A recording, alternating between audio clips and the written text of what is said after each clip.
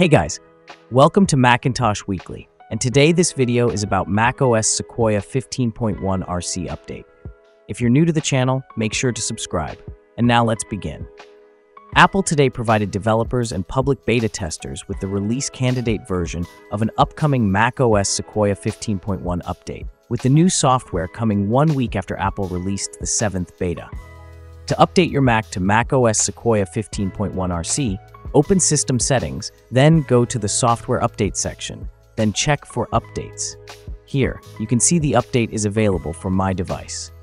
This macOS Sequoia 15.1 RC update size is around 1.83 gigabytes for my device. Click on Update Now, and then agree to the SLA to begin the update on your device, and enter the password when prompted.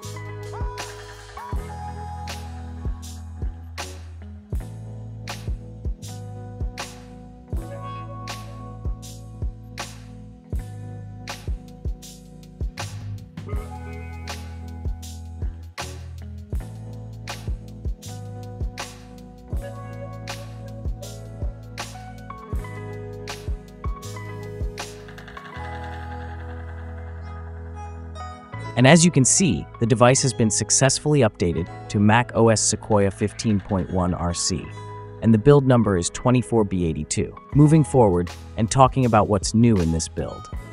This Mac OS Sequoia 15.1 RC introduces new features to help you be more productive and creative on Mac.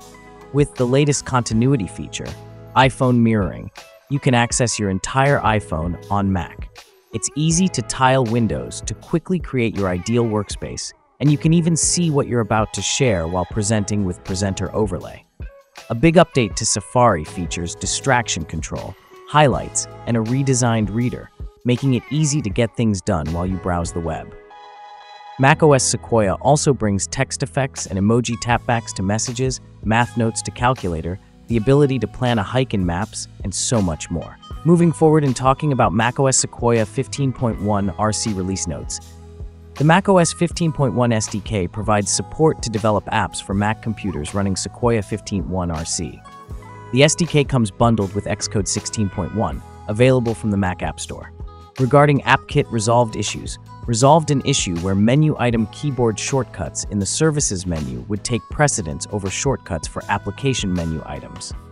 Regarding Carbon resolved issues, resolved an issue where iBooks author quits unexpectedly when clicking charts or widgets in the toolbar.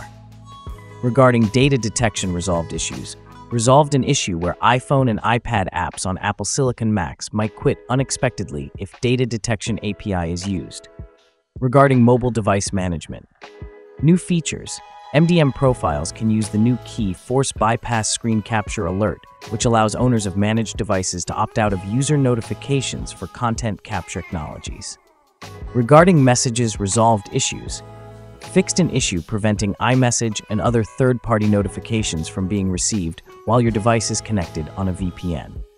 Regarding Quick Look resolved issues, fixed, back deploying apps that link Quick Look UI to macOS 11 or earlier might crash, regarding Siri resolved issues, fixed some of the buttons on the macOS Siri snippets might be unresponsive when using Siri through voice. Regarding Screen Capture Kit new feature. Applications using our deprecated content capture technologies now have enhanced user awareness policies. Users will see fewer dialogues if they regularly use apps in which they have already acknowledged and accepted the risks. Regarding StoreKit resolved issues, fixed in StoreKit testing in Xcode, the offer identifier in the subscription renewal info might be reported incorrectly for offer codes. Regarding Swift Charts resolved issues, fixed, any project that utilizes Swift Charts fails to build when targeting iOS, macOS, or VisionOS.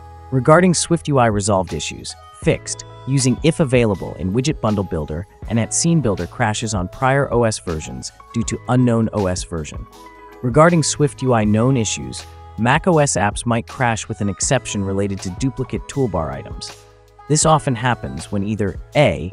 navigation split views are nested, or B, toolbars with IDs are specified, view.tool, and a new window is created with the same identified toolbar, Win2446. Workaround is A. Use applied.dock toolbar removing sidebar toggle within the sidebar column of the inner navigation split view. B. Temporarily stop using identified toolbars until this issue is addressed. Alternatively, sometimes it might be possible to work around B by moving toolbar items around or rendering them after a short delay. Regarding system integrity protection resolved issues, fixed users might be incorrectly prompted when an app that is distributed through TestFlight attempts to access an application group container. Regarding UIKit resolved issues, resolved an issue where iPhone and iPad apps on Apple Silicon Macs quit unexpectedly when loading UI Reference Library View Controller. So that was all about this build. The rest of the build seems identical. If you want to know more, check out Apple's official documentation for Mac OS Sequoia 15.1 beta release notes. So that was it. Hope it was useful. Consider like for the video, subscribe to the channel, and if you have any questions, just comment down below. Thanks for watching, and have a great day ahead.